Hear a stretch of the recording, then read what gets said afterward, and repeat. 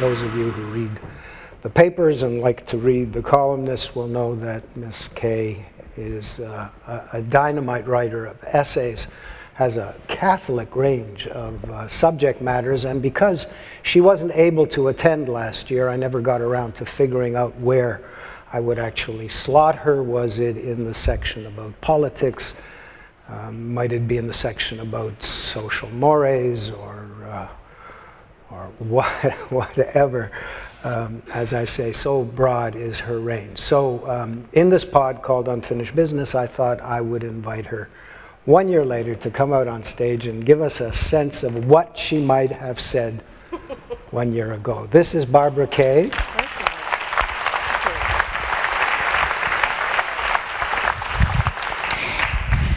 Uh, I've often read that public speaking is people's number one fear.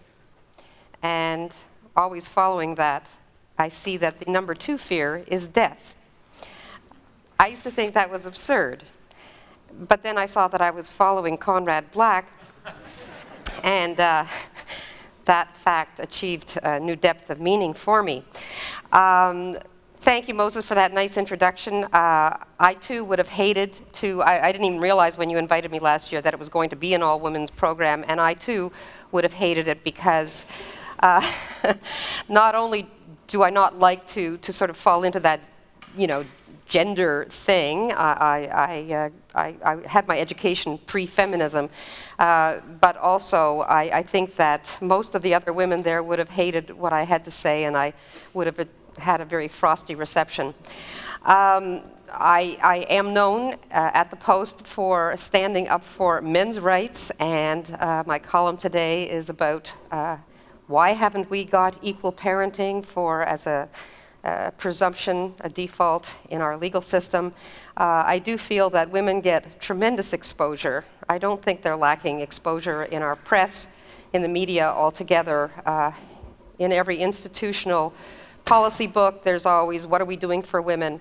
Uh, so I think women are very well served in our society, uh, and it's time that women were thinking about societies in which women are not well served at all, and I would love to see uh, our leading feminists start looking at uh, societies in which that is the case. Today is June 15th. It is a kind of special anniversary for me.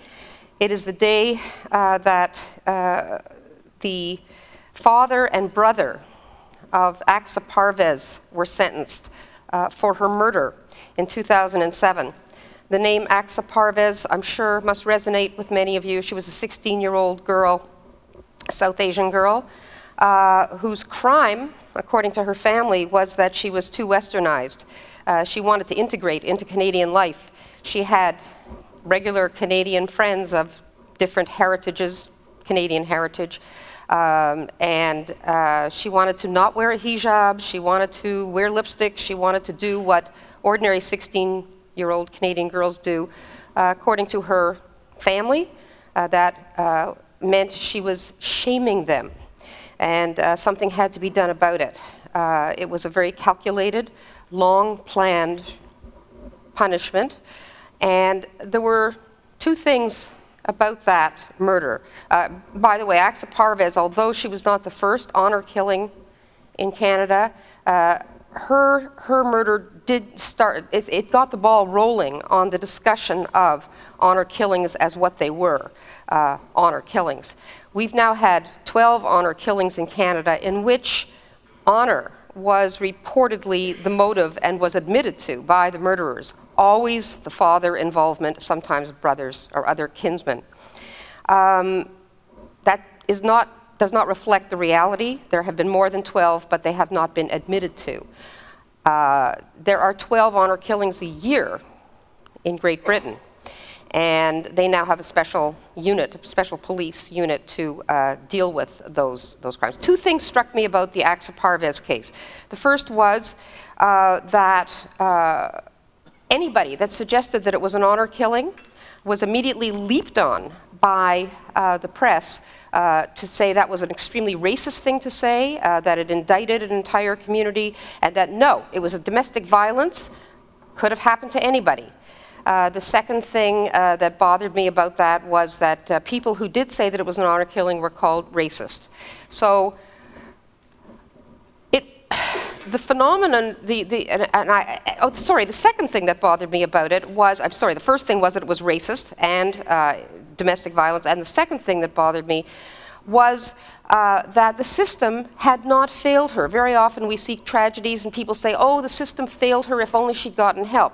Aqsa did try to get help. She told her teachers about the abuse that was going on at home. She told social workers, she told the police. Everybody knew about it. Everybody tried to help her. Her parents were called in and spoken to by the police.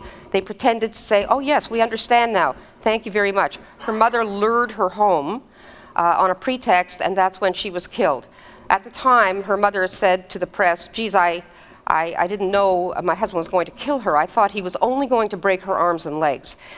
Um, so to call this, uh, to call this domestic violence uh, is extremely insulting and disingenuous uh, to, to the memory of Aqsa and all the other uh, young girls, mostly from South Asia, that have been um, killed in these honor killings. What, what does this mean, an honor killing? Why, why do we call it? People say you shouldn't call it honor killings because it's extremely dishonorable, it's immoral. Of course it's immoral, it's barbaric. But honor does not have much to do with morality or rights. Honor has to do with feeling that you have the good opinion of those who matter to you. And if you come from a culture in which the barometer of a family's honor uh, rests on the chastity, the purity, the modesty of the girls in the family, and totally rests on that, then you've got a situation uh, in which the slightest deviation from the role that these girls and women play in the family, uh, any deviation can bring shame to the family, and they must suffer, even if it's not their fault. And we've all heard about girls that have been raped, and they're the ones that get killed, not the. Um, domestic violence is something quite different from uh, honor motivated abuse. Uh, domestic violence always takes place between two individuals. It's, it's, it's, a, it's about intimate sexual dysfunction. Uh, uh, so it's about intimate partner violence, and that's what it's called now, IPV, intimate partner violence. Honor killing uh, is, is uh, a family, a kinsman, a collective kind of thing. It's not about individuals, it's about endorsed violence. Uh, it is social terrorism. And I call it terrorism because the punishments meted out to these girls are meant to terrorize other girls uh, in the community to say, this can happen to you, watch it. You have to be submissive, you have to do what your family wants you to do. Uh, so I got quite involved in this, in this subject, and I, I, did write a column about it, and I got an email two years ago from a woman called Aruna Papp. And uh, she is a South Asian woman from India, from the Punjab. And she said, You get it. She says, This is what I've been trying to tell people for, for 25, 27 years now, uh, nobody wants to hear this. My own community doesn't want to hear it because it's airing dirty laundry in public. Feminists don't want to hear it because uh, it spoils their theory that the patriarchy is all about the inherent, essential badness of men. Uh, when I say that it's a cultural thing, uh, they don't want to know about that because that would seem to mean that if men are cult culturally conditioned, to be bad, they can be culturally conditioned to be good. And it must mean that the guys in our society are pretty good, and they are. You have to understand domestic violence in our country is not a problem in the statistical sense. 40 women a year are killed in a population of 35 million. That is statistically nothing. By the way, 20 men are killed by their intimate partners also. So, you know, it's not what you would call a statistical problem. In Pakistan alone, Insiders say that there are up to 10,000 honor killings a year, and Pakistan has about 65 million people. So we're talking about a phenomenon that is huge in South Asia, the Middle East. This is not a religious, a specific religious problem, by the way. It's true that most honor killings are by Muslims, but they are also by Hindus, Sikhs, and even Christians. Uh, Aruna is a third generation Christian. She is ethnically Indian. But she grew up in an honor society and she uh, wanted to tell her story and uh, needed a professional writer to do it with, and that's what we've been doing for the last year. Uh, certainly one of the most gratifying experiences I've ever had. The book is coming out next February. There are little flyers upstairs in the bookstore, uh, and it's called um, Unworthy Creature, uh, a Punjabi daughter's memoir of honor, shame, and love. Aruna grew up first 21 years of her life uh, in a society in which uh, every day of her life she heard that she was an unworthy creature. Uh, and her grandmother used to joke about throwing her down the well because there were too many girls in the family. Uh, her mother had abortion after abortion until she finally produced a boy, uh, you know, who, who, was like the savior of the family. Uh, she came to Canada as, as, a, as, a, young mother with practically illiterate, with two children, three, two children. She had a third one here. Um, and uh, her story of, of uh, not only survival of an abusive marriage, but her determination to get an education and her willingness to, she's got two AMAs from York University, and, and her willingness to speak out against all the women that she researched. She was the first person uh, in Canada to research uh, violence in uh, the South Asian community. Uh, she was vilified by her community. She was threatened. Uh, one guy threatened her with a gun. Uh, nobody wanted to hear it. Racism, they called it. You can't do this. And the feminists didn't want to hear about it. Nobody wanted to hear about it. Uh, today, that situation thankfully has changed somewhat. Uh, Aruna, you know, she says people don't get it because they don't understand that, that, that people, these families, they, they don't deal with individuals per se, they deal in roles. She says, You're indoctrinated from the day you're born. She says, I was told my whole life uh, that I was unworthy because I was a girl, and it didn't matter. I couldn't have my father's love. Uh, I loved him so much, and she never stopped loving her father and always wanted his love and approval. Uh, she was the oldest of seven children, only one a boy. And um, her adventures, I, I, call them adventures, but some of them are, are pretty horrific. Uh, just, but just to show you how people do not get it uh, about honor motivated violence. Um, she was, she, when she was 11, she was raped by a kinsman. He raped her anally because he wanted to preserve her virginity. This is a common story, apparently. Um, she knew better than to tell anybody because she knew she'd be the one punished for it, and she knew she was damaged goods. So when she had her arranged marriage, it was really a forced marriage with an older man, she was uh, terrified that her secret would come out uh, at her wedding night. She didn't even know what was going to happen on her wedding night, but she was very, very frightened about it. Uh, thankfully, nothing did, although she did say to an aunt later, she says, what would have happened if I had, uh, if I had told uh, or if he had known or it, it had been discovered. Uh, and her aunt said, who loved her, she says, I would have given you the poison myself. Uh, she said, What could we have done? Our family's honor would have been at stake. But here's the interesting thing. When she spoke to feminists here, and she, she, she listened to them at York University, and they were telling her about uh, how, how she had to be strong and all this. But then when she would talk about her family, they'd say, well, you know, in the context, you know, cultures, everybody no culture is better than another, and you have to, uh, uh, you can't really blame your father or your husband. Or your, you know, she was getting this mixed message, uh, and she didn't like it. When she was 14, she saw uh, a young woman from her rooftop uh, in Delhi uh, set on fire, and she watched her burn to death.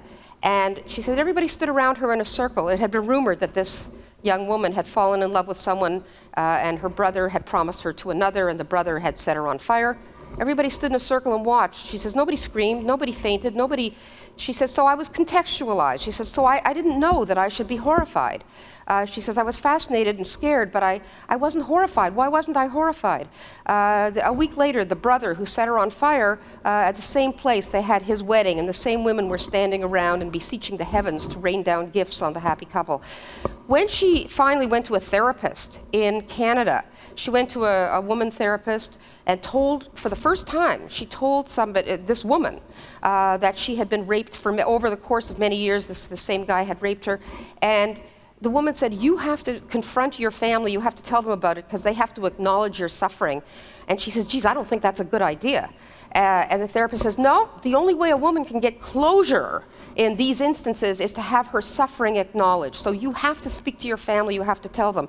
So she did predictably, they all turned against her. How dare you? How you how dare you bring this up? And, and of course, the guy that she had, uh, that she had blamed, uh, he was brought ever closer into the bosom of the family and made much of. And she was the one, she was basically excommunicated from her family. No one was allowed to talk to her. She was like a leper. Interestingly, the women in her family came over to her and said, Aruna, why did you do that? Why did you tell? Now look, look at our lives now. I have to have him in our house socially. I have to, you know, there's all these special occasions and weddings. He's going to be there. You've ruined it for all of us. Do you think you're the only one? This is going on in our communities, and nobody wants to talk about it, or very few people want to talk about it, but they don't want to identify it as a culturally motivated phenomenon.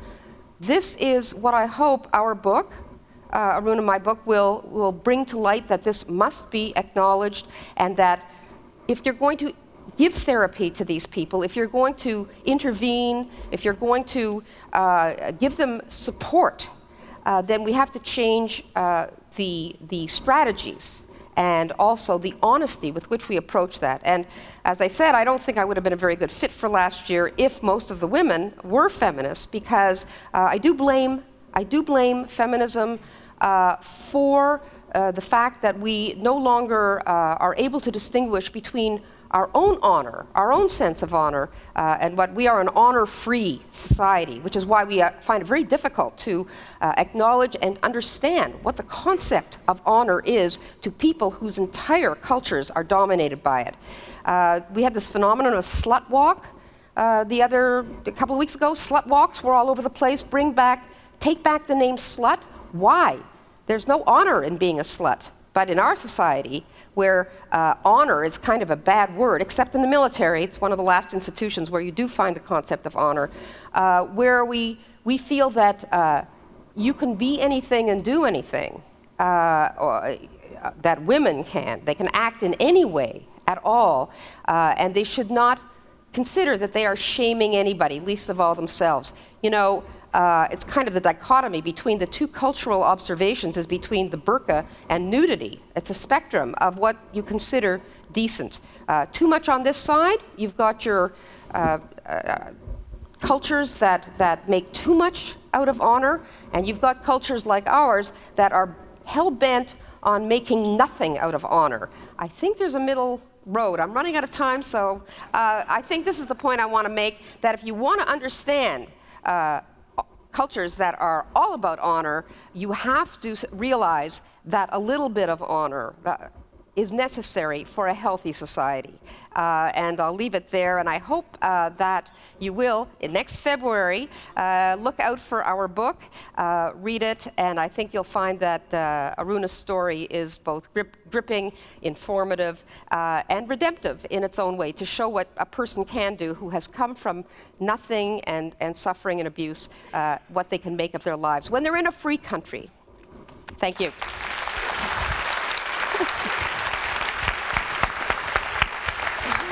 We had a good range last year. Some were feminists, some were anti-feminists, okay. and so on. Let's have a picture. For, for those of you who are curious, uh, there is another opinion smith in this community. His name's Jonathan Kay, and yes, they are related. The Kay is an opinion machine. Thank you very much.